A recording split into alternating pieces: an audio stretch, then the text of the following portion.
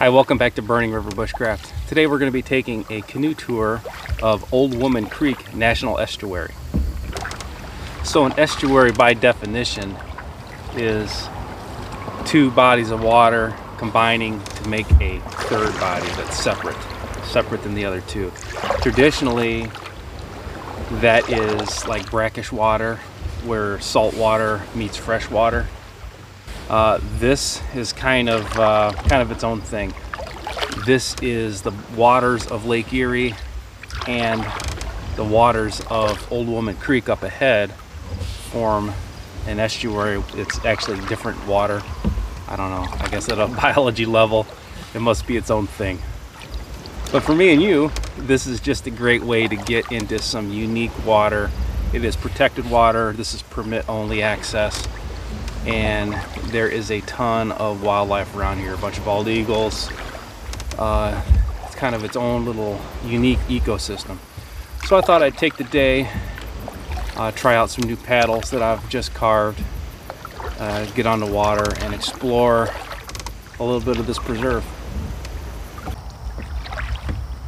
So Old Woman Creek is a 573 acre national estuary and it's parallel in the road right now so you're going to be hearing some of the road noise but there is no uh, motor boat traffic through here. This is canoe or kayak only uh, by permit. So they really limit who's coming in here. And for the super observant uh, this is a different battle than the first one I had in the beginning of the video I just carved up a bunch of paddles and I'm just out here testing them all out, getting them wet before I take them on a bigger trip.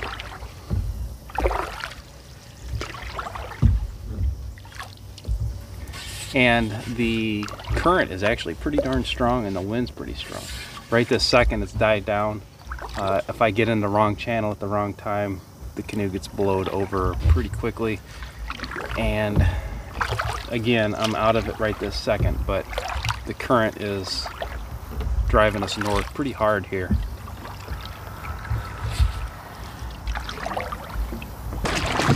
So as you're waiting for me to break into open water just up ahead, take a second and subscribe to the channel. Go ahead and click like on this video, leave me a comment, and you can hook up with me as well on Instagram and Facebook at Burning River Bushcraft. I have a blog, burningriverbushcraft.com. If you're interested in any of the courses I teach at Outdoor Core, uh, you can follow a link in the description below and you can take those.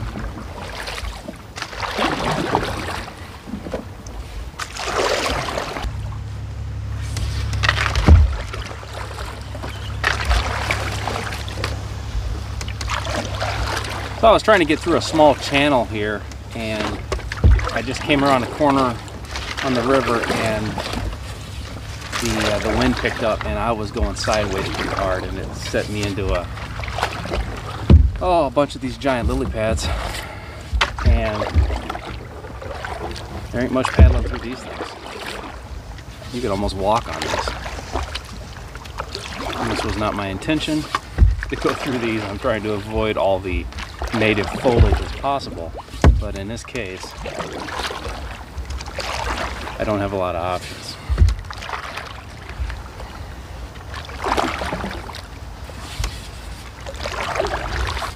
There we go. You can tell probably from the background I'm getting blown sideways again.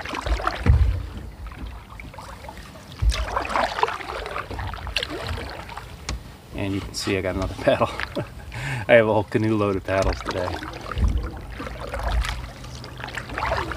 This is a uh, tulip poplar. This is a one piece tulip poplar. I had to laminate a little thicker handle shaft on it.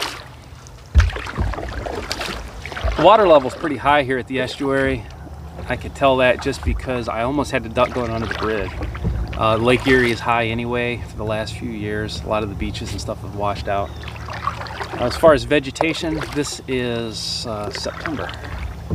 So I assume the vegetation would have been worse, but it's pretty high right now. There's not a lot of open channels to paddle through.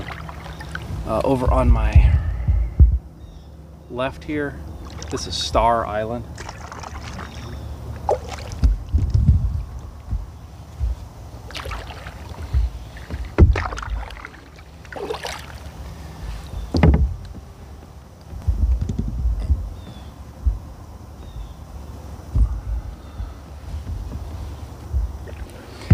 Boy, I'm busting waterfowl all over this estuary. This is uh, a lot of uh, habitat right here. Pretty impressive. Definitely a very, very impressive area. You can tell there's not many people here. Uh, the navigation's just not that easy. This is uh, not a leisurely place to go for a paddle. This is more a place to go botanize or to view wildlife or to paddle in the wind if you enjoy that kind of thing.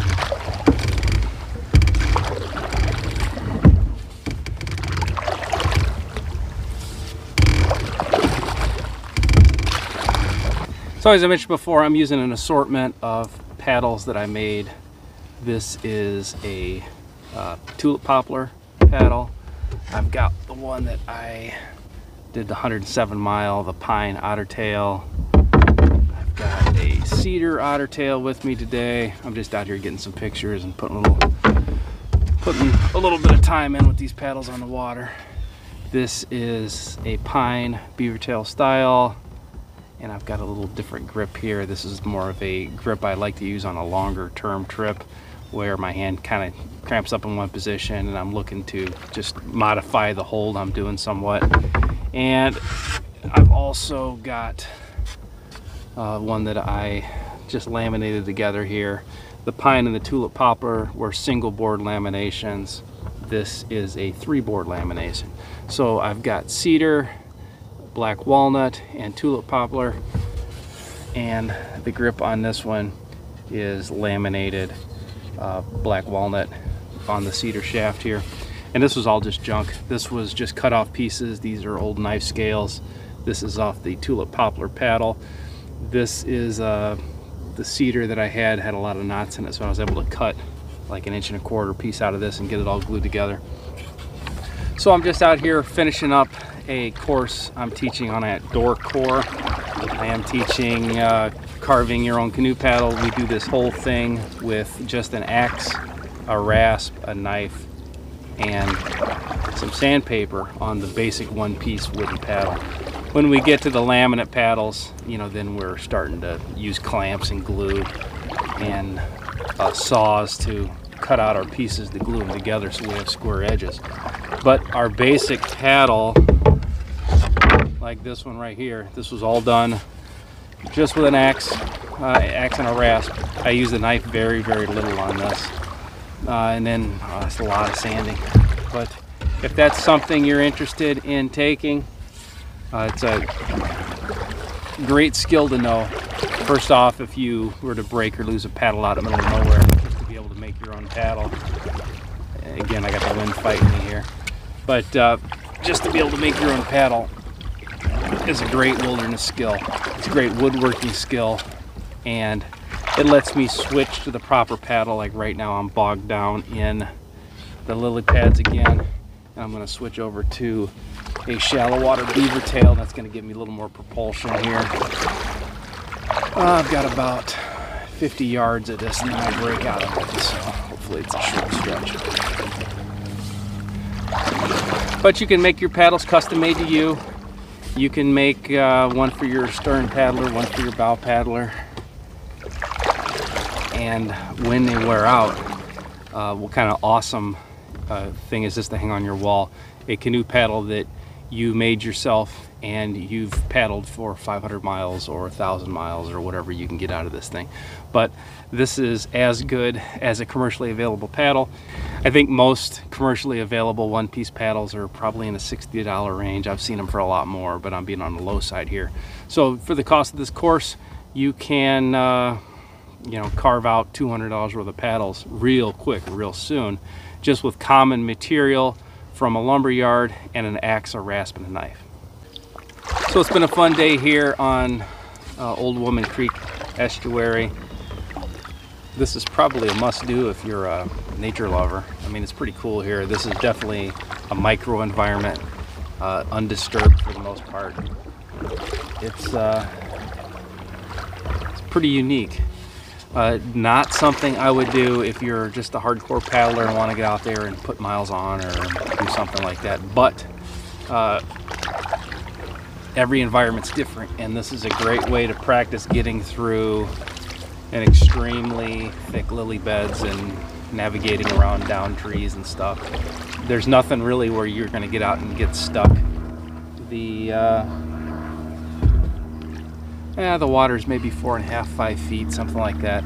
And I haven't really hit any hardcore obstructions. Uh, I'd hit some logs that I kind of got to back up and go around that I couldn't see in the lily pads. But the vegetation is just thick. It is ridiculously thick. I would say maybe wintertime would be my first choice of coming here, or early winter, I guess. This would probably freeze up pretty early. But it's a unique place that is accessible really only by canoe or kayak. And as I mentioned before, this is canoe country right here. This is exactly why I would choose a canoe over a kayak. Very narrow paths to get through the vegetation, if any paths to get through the vegetation. If you uh, were in this with a double paddle, you are going to be kicking up pads pretty darn easy. I mean, I'm really struggling through some of this. But it's uh, completely navigable and it is worth it. You get the sense that you're further away than you are. I've got a major highway just to the north of me here and there's, you know, there's a lot of people around this area. This is actually a, like a state research center in this estuary as well. So it's not uninhabited by any means, but it is protected and it is uh, definitely get the feeling like you're out there by yourself. So this thick vegetation is a pain, but this is kind of prepping me for my upcoming 99 mile wilderness trip through the Everglades. Uh, planning that this uh, winter, winter, spring. So if I don't like paddling through this stuff, I sure ain't gonna like going through the swamps of the Everglades. So it's mostly smooth paddling from here on in. I'm gonna try to go real calm and quiet through here. And uh, I see quite a bit of wildlife up ahead. So till next time, this has been Jamie Boggs with Burning River Bushcraft. See you soon.